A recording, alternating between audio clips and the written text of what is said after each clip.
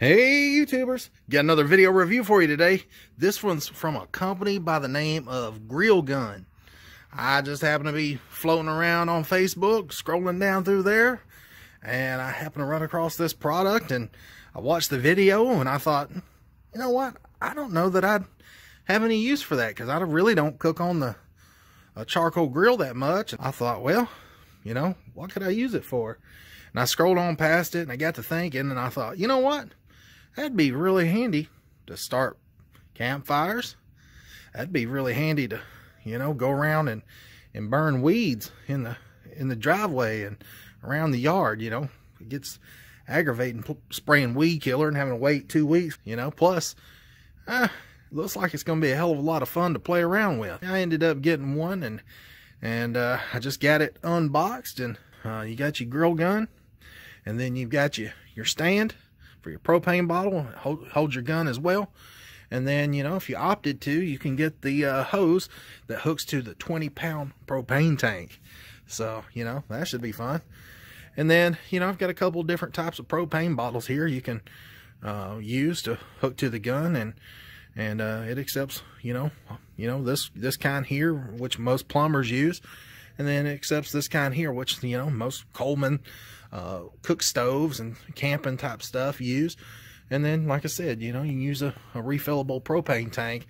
Uh, as long as you got that hose adapter right there, you can hook it to it. First things first, you know, the whole principle behind this thing is pretty simple.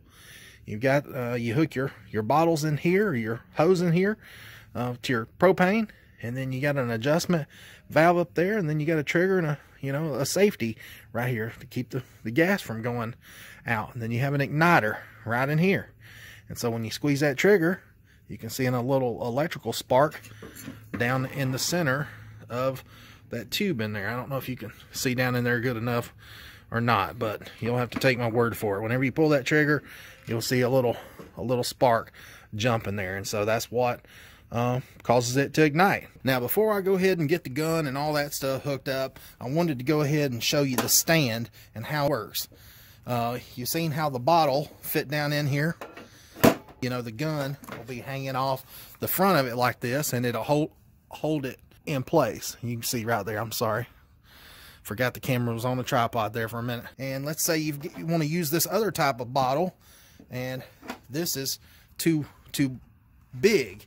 Well, what you do is you take, and it's got like a little spring-loaded hinge right in here. Push that in with your thumb, and slide it down and then you do it on this other side and you just push it down spring-loaded part and then you slide it down to this other notch right in there there's two notches the top notch is for the the bigger green size bottle and this little smaller notch it's not as deep is for the the blue and the the uh, yellow bottles.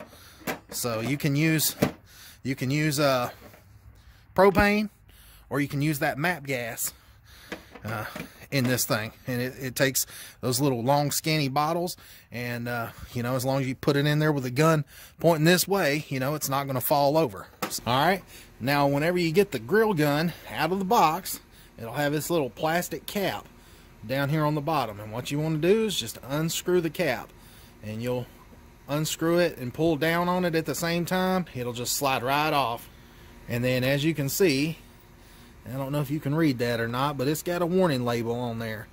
And basically, in so many words, it says, hey, don't be, don't be an idiot and tighten this up too much because if you do, it can mess this housing up right here. You could probably crack it.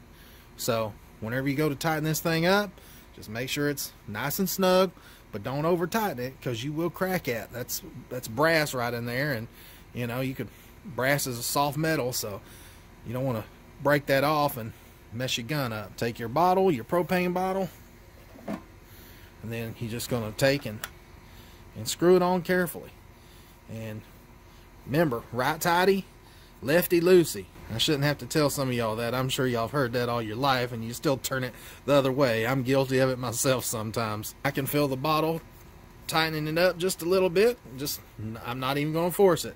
That's as much as I'm going to put on it. So should be good to go right there. And just to give you guys an idea of how that thing fits down in that stand, you can see that it fits in there nicely and the way the gun hangs over that way and and the way the stand is made uh, it's not going to fall you know as long as you get it on good solid ground. All right now what you want to do is open the gas valve here on the top. Just slowly open it up. You'll hear the gas coming out. Then you want to squeeze the trigger. Then when you squeeze the trigger uh, the flame comes out the end. Once you got it lit like that you can adjust the flame and make it larger by opening the valve up right here. Or if you don't want to mess with that valve, you can take and mash this little safety button in right here and with your finger. And then this, when you squeeze the handle right in here, this can adjust the flame as well. And I'll show you what I'm talking about. So I'm trying to show it to you up close and can see how to, to operate it. And then I'm going to back it up where you can you can see me actually using it. All right, you can see I've got the cardboard packaging that this thing come in sitting down there.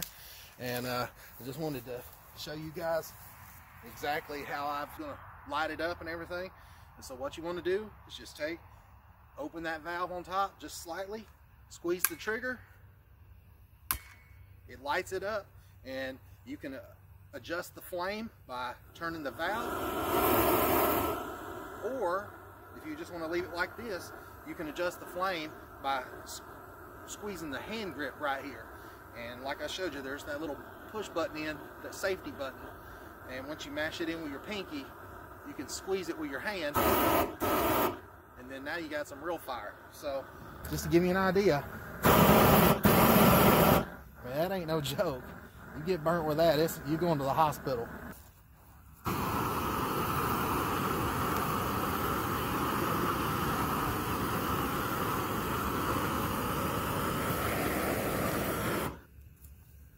That's pretty crazy.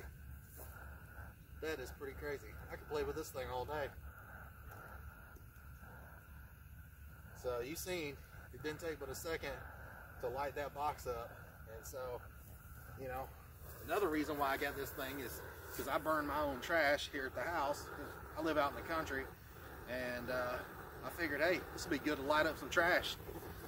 But uh, I've got some logs right here set up, and uh, we're gonna light these up and see uh, if they'll burn. It's been raining last day or two, and so everything's kind of damp.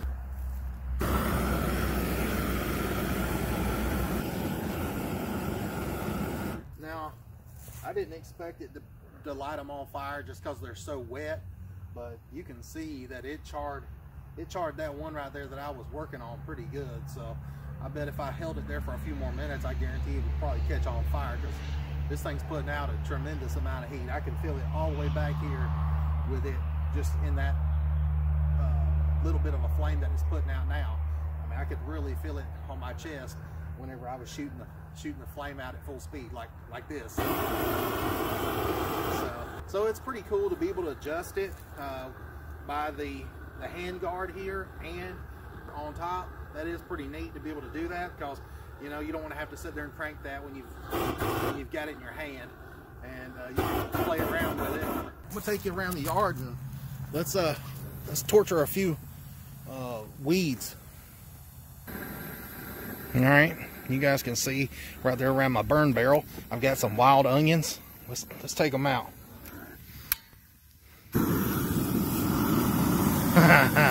it disintegrates them I mean literally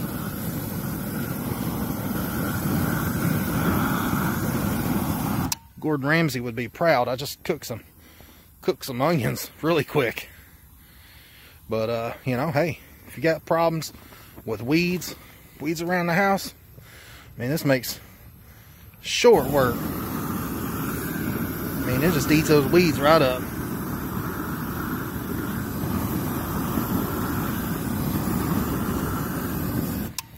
So you seen it? It melt that, melted those uh those clovers right down to the ground. Ain't nothing left.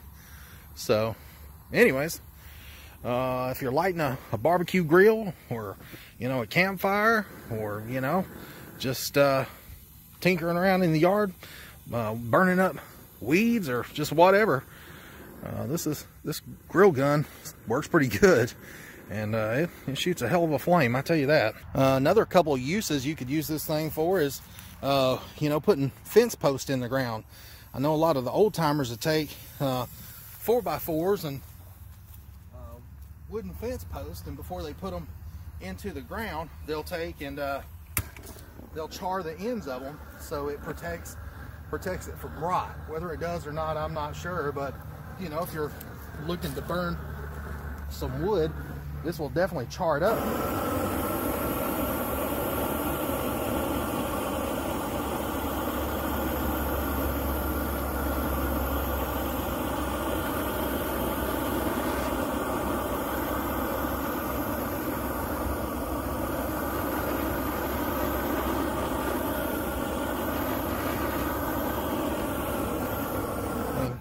You see right there, it didn't take but a second to char the, the bottom of that 4x4.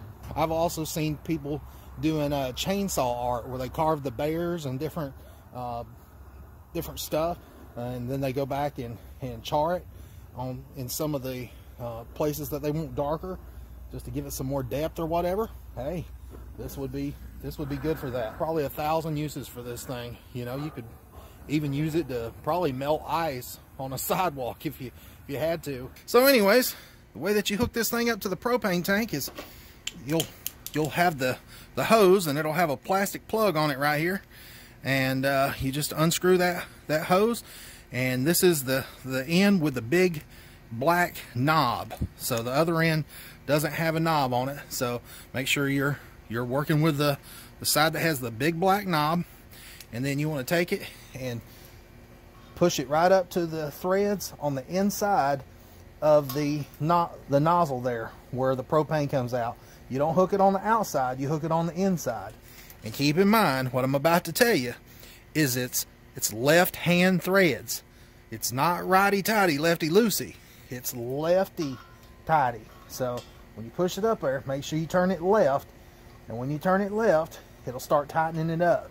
So if you're sitting there trying to tighten it up, turning it right, well, you'll be there all day because it won't never start.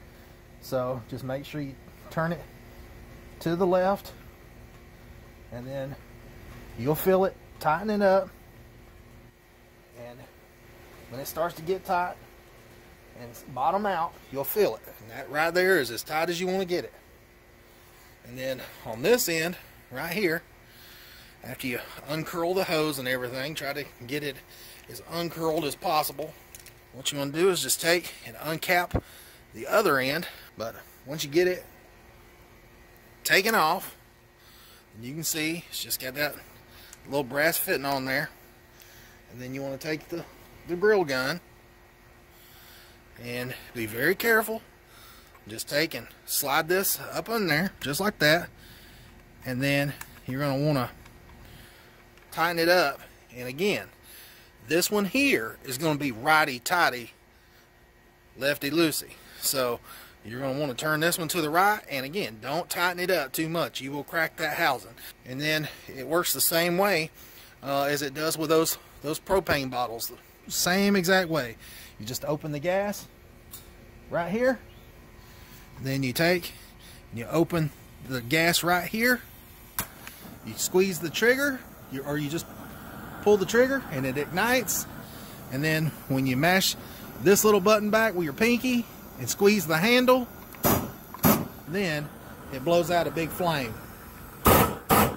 So, same principle as using the smaller gas bottles.